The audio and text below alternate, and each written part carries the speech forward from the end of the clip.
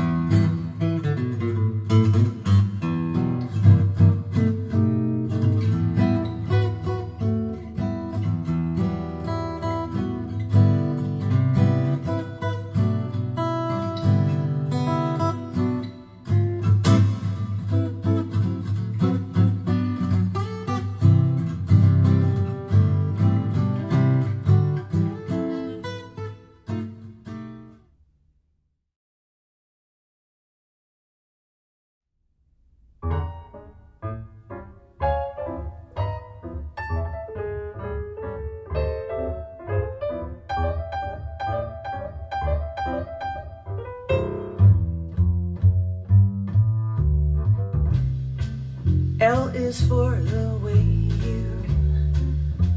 look at me. O is for the only one I see. V is very, very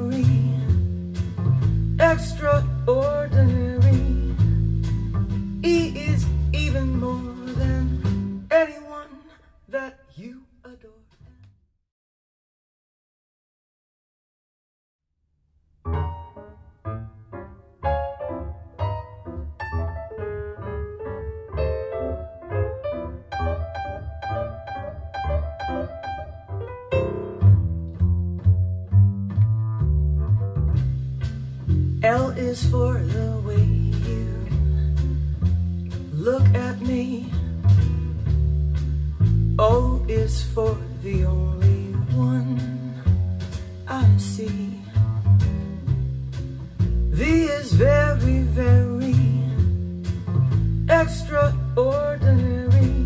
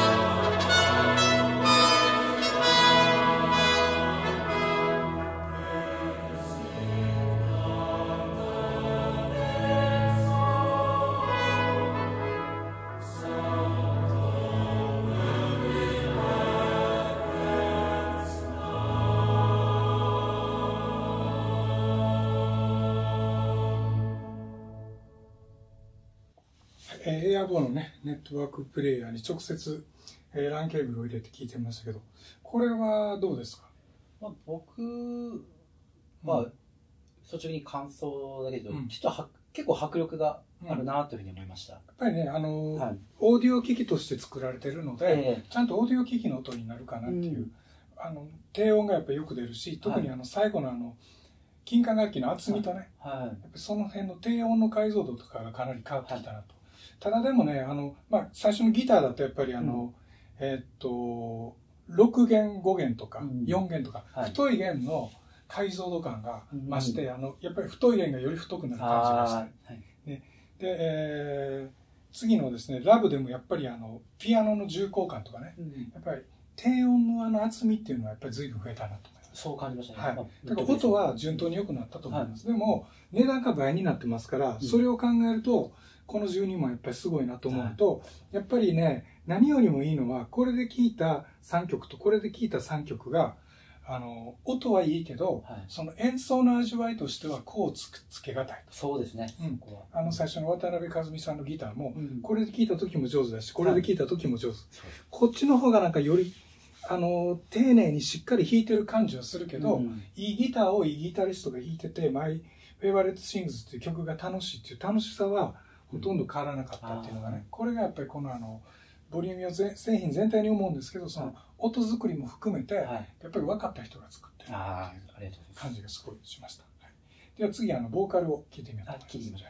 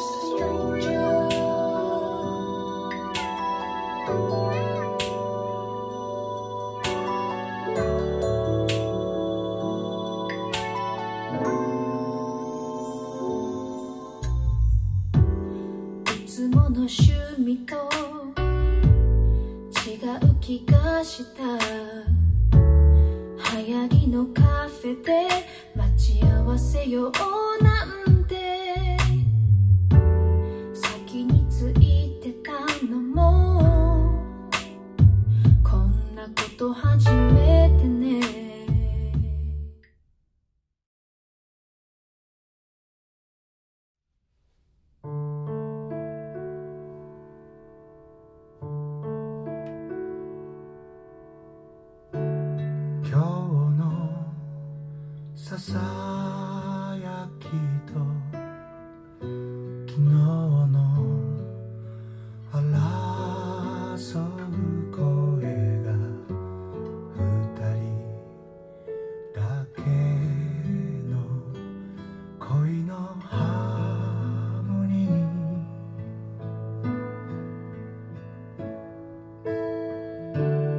夢も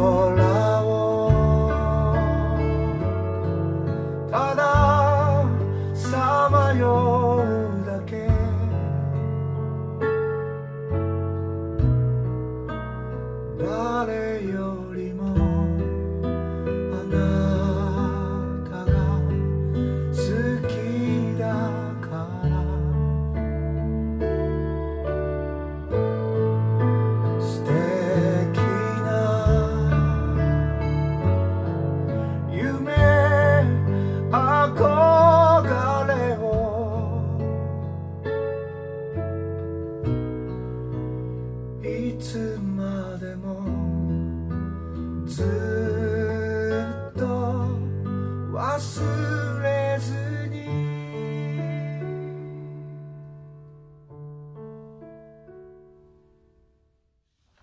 はい斉藤さんボーカルはいかがですか？ボーカルもやっぱり個人的に綺麗に聞こえるなと思いましたけど、やっぱり広がりとこの声のバランスがすごくいいですね。うんうん、あのハイレスよりこれはあの44点、はい。44.1kHz16 ビットのワープ、うん、CD のリッピングなんですけど、はい、こっちの方が違い大きくないです。あ大きいと思いますか。ね。だからやっぱりこれはあの、うん、やっぱりこういうねオーディオ機器っていうのは要は、はい、あの DA コンバーターの仕組みとして要は CD に近い信号でもいい音が出るように作ってあるけど、はいうん、まあ、これはもう入力した信号にそのまま素直に追従するので、はい、やっぱりそのあたりハイレスすごくいいけど、はい、ノーマルレゾリューションになると若干ね、まあ、悪くはないですよ。あのやっぱり差が差が出てくるっていう感じがしました。そうですねやっぱりそこが機器の、うん、ノーマル、うん、ノーマルレゾリューションはやっぱりこの12万円と23万円っていう価格差は大きかったかなって思いましたね、でもあのーこれで聴いてた時はやっぱりすごく歌が上手に聞こえたんで、うん、まあ、そこの基本はすごくいいと思います、ね、ありがとうございます。次はあのインスト見てみて。ください。はい